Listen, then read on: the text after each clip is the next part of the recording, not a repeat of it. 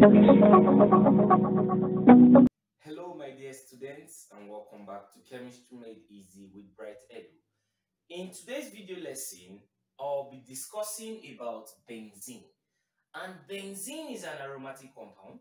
I'll be showing us specifically the benzene itself and also derivatives of benzene, compounds from, from benzene. Now, benzene is a compound that is sp2 hybridized. The carbons present in benzene is sp2 hybridized. Now, this is the structure of benzene. This is benzene. And benzene basically is also called phene. Benzene is also called phene with a chemical formula C6H6. Now, in today's video lesson, I'll be showing us different structures and derivatives from, from benzene, like the likes of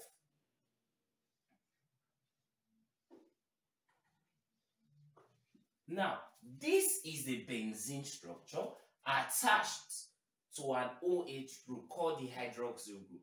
Now, hyopacally, this compound is called hydroxylbenzene. This is hydroxylbenzene. But commonly, it is called phenol. This is phenol. Now, phenol is a benzene derivative which is used as a disinfectant.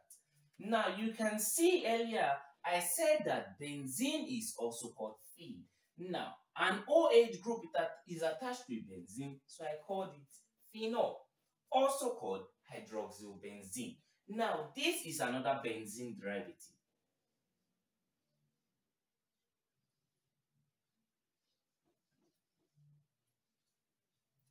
This benzene derivative is called nitrobenzene. This is nitrobenzene. Okay? Now, this is another benzene derivative.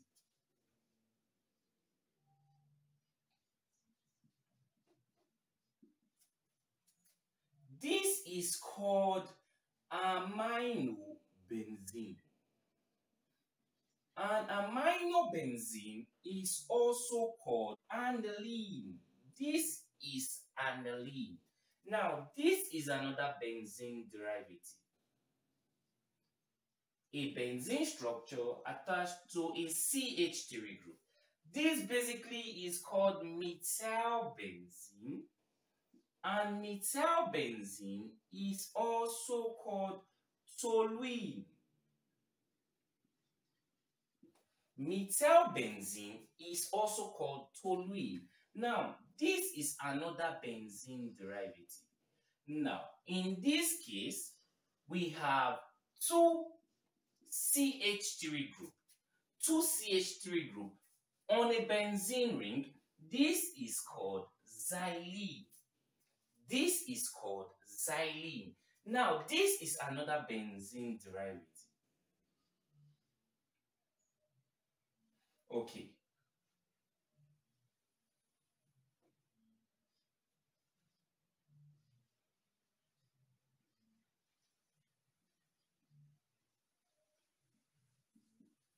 Now, you can see that this is a benzene structure attached to two OH group at carbon 1 and 2.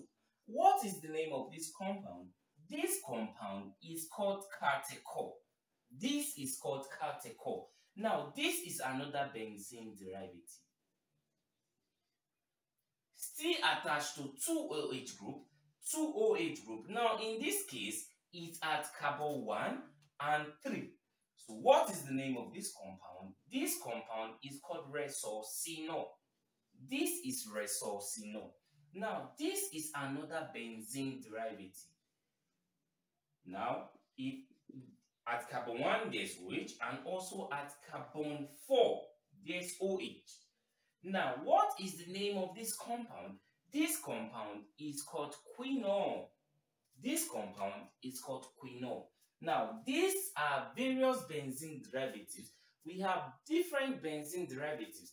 Now let's proceed.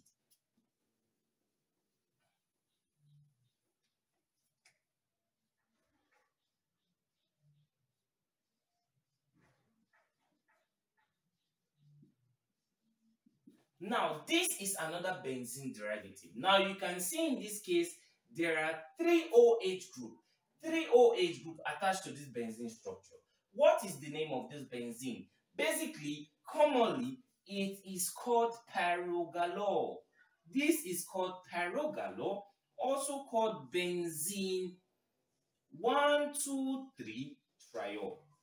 This is called pyrogalol. Now, look at this benzene derivative. This is another benzene derivative. This benzene derivative is called hydroxylquinol. It's called hydroxylquinol. We have various benzene derivatives. Now let's talk about other benzene derivatives.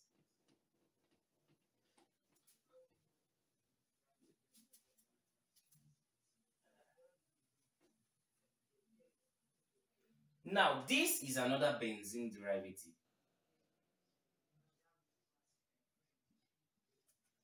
This is called naphthalene. And naphthalene basically is also called camphor. This is a compound that sublimes. Sublimation is the process by which a compound changes directly from solid state to gaseous state. Now, this is a very important compound that sublimes. Now, this is another benzene derivative. Now, in this case, this is naphthalene attached to OH. What is the name of this compound? This compound is called naphthol.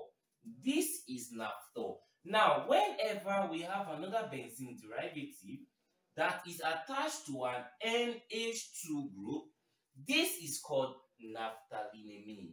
So we have various benzene derivatives and benzene is a compound that is that is aromatic and benzene basically undergo substitution reaction and also undergo addition reaction.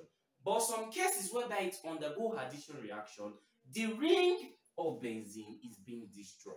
So basically, these are the introductory aspects of benzene.